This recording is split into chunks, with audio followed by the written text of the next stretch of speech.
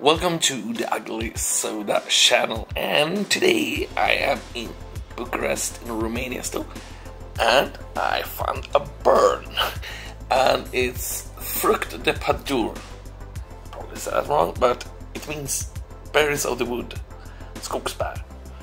Uh, usually skogsbär or forest fruit and stuff like that usually tends to taste uh, quite a lot of blackcurrant. But uh, I haven't tried Burn, and um, it's a Coca-Cola thing, um, Coca-Cola energy drink. So Coca-Cola company said it won't be Coca-Cola. It's probably will be like, yeah, fruit of the forest. Uh, let's see, or berries of the forest, or fruit of the forest. Uh, well, gonna see, see what it is.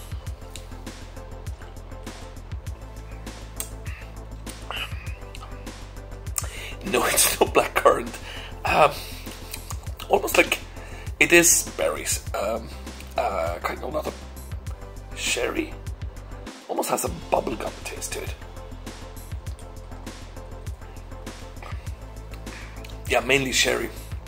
Um, but it's a nice, nice, um, nice taste to it. Hides the chemicals very well. It's sad that this is not available in Sweden and another. Um, this is actually good. This is nice, and also with sherry flavor. Um, well, I will give it four out of five. Yeah, burn. Fruit. It's actually my favorite burn right now. Fruit the padure. Padure. I probably said it wrong. Four out of five.